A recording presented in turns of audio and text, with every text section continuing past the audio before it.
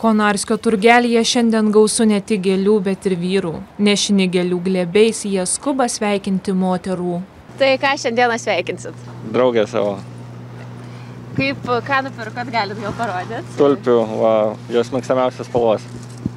Mylimas moteris, merginas, Kiekvienais metais sveikinat. Stengiamės tai parodyti dėmesį. Labai labai daug gėlių turiu nupirkti. Tai va, tai Kam galvoju. dovanosit? Nu, meilužėm, meilužėm, visom moterim, kurias pažinojau, kurias dar pažinsiu.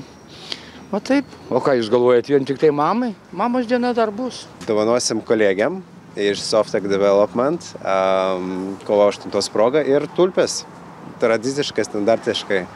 Čia kovo 8 simbolis. O vėliau mamai, žmonai. Žmoną dukrą pasveikinau, dabar važiuoju pas mamą ir uošenę. Pasak turgelėje prekiaujančio kesto, šią dieną vyrai pirkdami gėlės į kainą beveik nekreipia dėmesio. O kiek viena tulpė? Tulpė po eurus 50. Jeigu įmonė, tai gali išleisti ir 60 eurų, ir 80, o jeigu savo, tai 20-10. Jeigu savo, nu, artimus žmonės, jeigu sveikinam.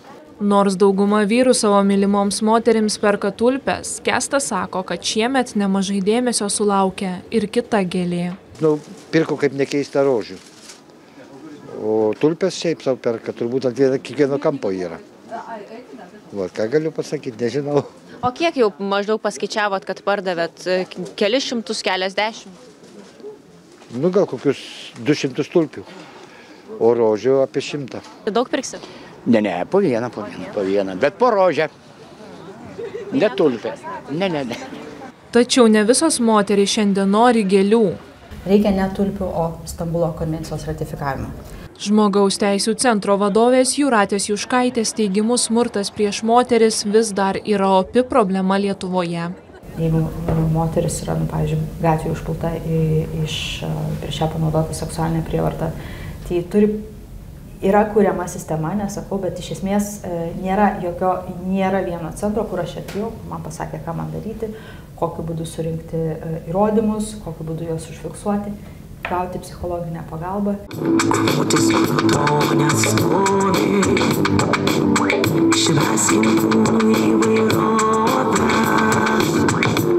Svarbu kalbėti ne tik apie smurtą prieš moteris, bet ir apie visuomenėje įsišaknyjusią problemą moters kūno aptarinėjimą. Švesti kūnų įvairovę Rotušės aikštėje kvietė feministinė grupė Spokšok. gana e, kritiškai aptarinėti, vertinti, komentuoti nepagarbiai moterų kūno dalis ir e, pateikti alternatyvų požiūrį. O tai yra tokį, nu, tam tikrą išmintį iš mū- mūsų moterų perspektyvos. sakyti, kad e, vienokia krūtinė per didelė, kitokia per maža, kad kažkokia graži, kita negraži, su liemenuku, be liemenuko.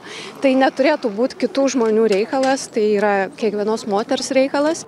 Anot Vilniaus moterų namų vadovės Lilijos Henrikos Vasiliauskės lyčių neligybės problemas Lietuvoje supa daug klausimų, į kuriuos atsakymų mažai. O kodėl mes neturim vyriausybėje tam tikros dienos, tam tikro specialaus fokuso į moterų, moterų padė, padėties klausimus?